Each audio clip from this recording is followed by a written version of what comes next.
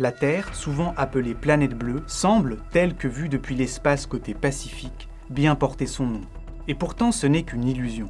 Car si on considère notre planète du point de vue de l'espace accessible à la vie, elle est majoritairement noire. Près de 90% du volume habitable total de la biosphère se trouve dans les grandes profondeurs, là où la chaleur de notre étoile ne descend jamais. Ces vastes étendues liquides et sombres, peuplées d'animaux étranges que vous voyez actuellement à l'image, nous sont restés pendant des millénaires méconnus. L'essentiel de ce que l'on savait des profondeurs de la mer nous provenait alors de ce qui s'échouait sur le rivage, était remonté dans nos filets. Et dans les années 1830, presque tous les scientifiques s'accordaient pour dire que dans l'océan profond, en l'absence de lumière et donc de végétaux, il n'y avait plus aucune vie au-delà de 500 mètres de profondeur. Mais à peine une décennie plus tard, lorsque l'un des premiers câbles télégraphiques transatlantiques est remonté pour des réparations, on le découvre recouvert d'incrustations de coraux et de palourdes qui y vivaient accrochés par 2000 mètres de fond. Contre toute attente, il existe là-dessous de nombreuses formes de vie évoluant dans un monde des ténèbres. Et pendant plus d'un siècle, nous avons été contraints d'explorer ces grandes profondeurs à l'aveugle. Car sans pouvoir y descendre directement, toutes les campagnes d'études remontaient de la vie des abysses au petit bonheur la chance. Un peu comme si nous tentions de comprendre la nature de celles évoluant à la surface des continents, depuis des montgolfières perchées la nuit au-dessus d'une épaisse mer de nuages, tout en laissant traîner en contrebas de larges filets à papillons, en espérant y remonter quelque chose. Mais à partir des années 50, avec le développement des submersibles habités, puis des robots fixés à un câble, l'exploration des grands fonds a réellement commencé.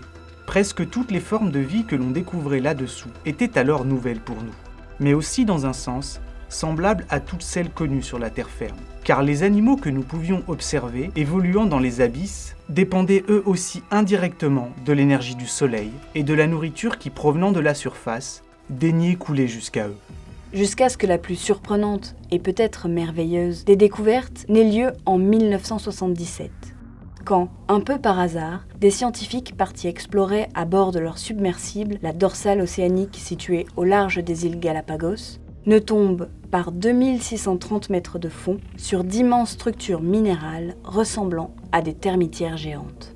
Autour de ces cheminées sous-marines, crachant à leur sommet un fluide brûlant chargé en minéraux, en méthane et en sulfure d'hydrogène, nous avons découvert une faune hors du commun, qui, loin de la monotonie souvent désertique des grands fonds marins alentours, rivalise en termes de diversité avec les forêts tropicales humides. Collées à ces sources hydrothermales, fleurissent des oasis d'une vie colorée et abondante, au point où l'on peut retrouver jusqu'à 50 kg d'êtres vivants par mètre carré. Et le plus étonnant dans cette histoire, c'est que la vie qui s'épanouit ici, dans le noir, n'a rien de commun avec toutes les autres formes connues sur notre planète. Sans le savoir, on venait de mettre la main sur des formes du vivant inédites et ayant, à bien des égards, quelque chose d'un peu extraterrestre. Car les organismes qui s'épanouissent ici ne dépendent pour vivre aucunement du Soleil notre étoile pourrait bien s'éteindre à l'instant qu'il continuerait de prospérer, sans encombre, dans ces eaux profondes et sombres. Alors que nous avions toujours imaginé que sans apport nutritif provenant de la surface, rien ne pouvait vivre en autonomie dans le noir total, nous avons trouvé sur ces sites de vastes colonies de bactéries, se nourrissant non pas de ce qui tombe au fond, depuis la surface, mais tirant leur énergie directement des composés toxiques, des minéraux et de la chaleur émise par ces monts hydrothermaux, et ce, au moyen d'un processus totalement nouveau, la chimiosynthèse. Et dans un sens, nous venions de découvrir une profusion de vie inédite dans un monde où elle ne devait pas exister. Des êtres vivants capables de se nourrir de choses considérées comme si indigestes, que leur existence même aurait été rejetée comme absurde si quelqu'un avait été assez imaginatif pour la suggérer. Pour se rendre compte de l'ampleur de cette découverte, il nous faut s'arrêter quelques secondes pour faire la lumière sur cet incroyable processus qu'est la chimiosynthèse. Contrairement aux organismes photosynthétiques qui utilisent l'énergie du soleil pour transformer du dioxyde de carbone et de l'eau en sucre et en oxygène, les bactéries pratiquant la chimiosynthèse découverte ici s'appuient, elles, sur l'énergie chimique pour oxyder le sulfure d'hydrogène craché par les évents hydrothermaux, et ainsi produire du sucre, des composés oxygénés dont elles se nourrissent. Dit autrement, si pour vivre les organismes photosynthétiques mangent de la lumière du dioxyde de carbone et de l'eau, les chimiosynthétiques se délectent eux de méthane, de soufre ou d'autres minéraux, Quant à tous les êtres vivants qui ne réalisent aucune de ces deux réactions, ils doivent pour vivre manger les espèces qui les font ou se manger entre eux. Ainsi, dans ce milieu à l'obscurité totale, en transformant des composés toxiques, inorganiques en nutriments, les bactéries chimiosynthétiques sont les premiers maillons d'une grande chaîne alimentaire, sur laquelle une macrofaune riche et variée s'appuie pour survivre, se développer et s'épanouir. Et dans ce joyeux bordel dont l'existence est rendue possible par ces micro-organismes, on retrouve bivalves, anémones, poissons abyssaux, crustacés, poulpes et des essaims de crevettes par milliers tous se tenant à distance respectable des points de sortie des cheminées, où le fluide, chargé en composés toxiques qui vous feraient regretter d'être né, avoisine les 350 degrés. Cette température, suffisante pour faire fondre le plomb, chute rapidement à mesure que l'on s'éloigne des embouchures des évents, pour n'être à quelques mètres de là qu'à 2 ou 3 degrés au-dessus du point de congélation. On a ainsi pu observer sur les marges de ces eaux de cauchemar des vers marins de près de 3 mètres de long, évoluant dans une eau dont la température est de 140 degrés plus élevée au niveau de leur tête qu'à leur queue. Aujourd'hui, nous connaissons, réparties à travers le globe, des centaines de formations de ce type, et on estime leur nombre total à plusieurs dizaines de milliers. Toutes ces cheminées ont été découvertes entre 700 et 5000 mètres de profondeur, et pour grande majorité dans des zones de forte activité tectonique, au niveau des axes des dorsales océaniques. On sait aujourd'hui que ces orgues hydrothermaux se forment lorsque l'eau froide des océans s'infiltre dans la croûte par des fissures. Des anfractuosités provoquées par les chambres magmatiques situées à quelques kilomètres sous le fond des océans. En s'approchant du magma qui couve, l'eau se réchauffe, monte en pression et remonte alors en lessivant sur son passage les roches alentours. Au point de sortie, en rencontrant l'eau froide environnante, les éléments métalliques dissous vont se mettre à précipiter, en construisant au passage d'impressionnants édifices. Car si la plupart de ces orgues métalliques ne dépassent guère la dizaine de mètres, on a pu exceptionnellement en découvrir avoisinant les 100 mètres de hauteur. Le liquide extrêmement chaud et acide qui sort au niveau des évents évacue une partie du trop-plein de la chaleur interne de la Terre, au point que l'on estime que deux douzaines de ces cheminées produisent autant d'énergie que l'une de nos centrales électriques. Inexorablement, ces geysers sous-marins en viennent à rapidement s'éteindre, Éphémère, il se déplace et migre, car les points de sortie des fluides se décident au gré des variations d'activité sismique le long des dorsales. C'est pourquoi l'on estime que la durée d'activité moyenne de l'un de ces fumeurs est de l'ordre de quelques décennies. Ainsi, il n'est pas rare que d'une visite à l'autre, les submersibles ne découvrent qu'un site précédemment actif s'est éteint.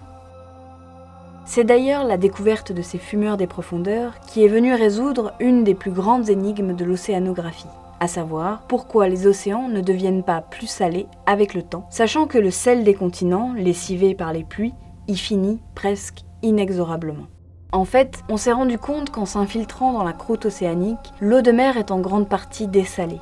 Ainsi, on estime que ces formations, agissant en quelque sorte à la manière de filtres pour aquariums géants, peuvent nettoyer un volume d'eau équivalent à celui de l'ensemble des océans en quelques 10 millions d'années. Si la majorité des évents hydrothermaux connus crachent des fumées noires, on en a découvert aussi des blancs, dont les émanations sont légèrement plus froides et de composition différente. Sur cette vidéo prise à 1600 mètres de fond, on peut voir s'échapper de la croûte océanique des gouttelettes de dioxyde de carbone liquide, en raison de la pression importante qui règne ici. Et dans ce milieu hautement acide, pullulent des moules se la coulant douce sur un tapis microbien, épais par endroits, d'un mètre d'épaisseur. Et le plus fou dans tout ça, c'est peut-être que l'on a aussi découvert, par près de 3200 mètres de fond, d'autres oasis de vie, sur d'étranges formations appelées suintement froid.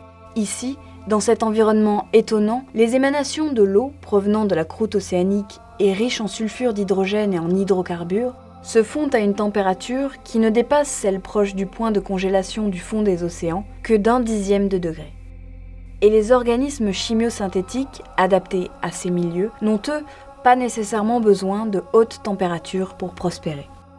Ainsi, en dépit de cet environnement glacial, on peut retrouver ici plusieurs dizaines de kilogrammes de matière organique par mètre carré.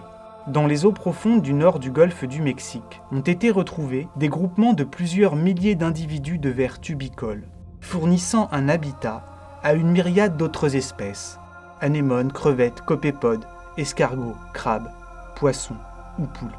tous autant qu'ils sont trouvent ici de la nourriture en abondance grâce à l'activité des organismes chimiosynthétiques. Certains de ces vers tubicoles géants étant si grands qu'on a pu estimer leur âge à près de 400 ans. Dépourvus de bouche, d'anus et d'intestin, ils doivent leur survie aux relations symbiotiques entretenues avec leur flore bactérienne chimiosynthétique qui leur fournit indirectement les nutriments dont ils ont besoin. Et encore une fois, ces créatures qui peuvent parfois sembler sortir tout droit d'une autre planète vivent pourtant bien sur notre propre monde. Parfois, au niveau de ces oasis de vie pouvant fleurir dans les eaux glaciales, on peut même tomber sur des monticules dont l'aspect évoque pour nous celui de la glace, de la neige. Une neige qui n'est rien d'autre que de l'hydrate de méthane, maintenu sous forme solide par la pression de la colonne d'eau qui nous surplombe. Ici, un agrégat de moules festoie en se nourrissant d'une espèce de bactérie chimiosynthétique capable d'ingurgiter et transformer les éléments chimiques de cet hydrate en ressources assimilables. Et histoire de rajouter à l'étrange encore une couche de bizarre, songez qu'il est fréquent de tomber à proximité de ces suintements froids sur des lacs de saumure. Oui, vous avez bien entendu. Aussi fou que cela puisse paraître, il existe des lacs sous la mer. Ceux-ci se forment suite à l'accumulation dans des cuvettes d'une eau extrêmement salée, et donc beaucoup plus dense que celle de l'océan environnant. C'est d'ailleurs dans l'un de ces lacs qu'ont été découvertes les toutes premières formes de vie multicellulaires capables de vivre entièrement sans oxygène. La même planète, définitivement un autre monde. Et à l'heure où beaucoup de gouvernements et d'entreprises convoitent la possible future exploitation des grands fonds, qui, autour des cheminées hydrothermales, regorgent de richesses sous forme de milliards de tonnes de minéraux accumulés, on est en droit de se demander si, tout compte fait, le véritable trésor enfoui dans les abysses n'est pas la grande diversité de la vie qui s'y épanouit elle-même et l'énorme réservoir de possibilités à découvrir. Songez qu'aujourd'hui, près de 50% des traitements contre le cancer sont dérivés de molécules provenant d'organismes marins. Les venins de nombreux mollusques des grands fonds sont actuellement à l'étude pour fabriquer des antidouleurs mille fois plus puissants à volume égal que la morphine. Quant à l'étude de l'hémoglobine des vers tubicoles, elle pourrait bien permettre un jour de fabriquer du sang artificiel et donneur universel. On trouve même sur les sointements froids des espèces capables de se nourrir et de dégrader du pétrole, de quoi fortement intéresser les spécialistes de la dépollution des sols. Et c'est tout de même dingue de se dire que la découverte de ces étranges formes de vie, n'ayant que faire du soleil, est aussi venue chambouler et bousculer tout ce que l'on pensait savoir des capacités d'adaptation de la vie sur notre planète comme les scénarios de sa possible apparition ailleurs dans l'univers. Et ce, à une époque où l'on possédait déjà des cartes plus détaillées de la surface de Mars que des fonds marins. Aujourd'hui, nombre de théories font l'hypothèse que ces eaux de cauchemar ont peut-être pu, à l'origine, être des berceaux de la vie sur Terre. D'ailleurs, on pense que les lunes de Saturne et Jupiter, Encélade et Europe, pourraient bien abriter, sous l'épaisse couche de glace qui les recouvre, des cheminées hydrothermales. De là à imaginer que d'étranges formes de vie y grouillent à proximité, il n'y a qu'un pas. D'autant que les créatures qui nous ont amenés à considérer ces scénarios comme plausibles n'ont pas été trouvées dans l'espace, mais à quelques kilomètres sous la surface de notre propre planète, 3000 mètres sous nos palmes et nos coques de bateaux. Devant tant de questions encore ouvertes, devant tout ce qui attend encore d'être découvert, tapis au fond des mers, nous allons lentement refaire surface en compagnie du bruit d'un fumeur noir.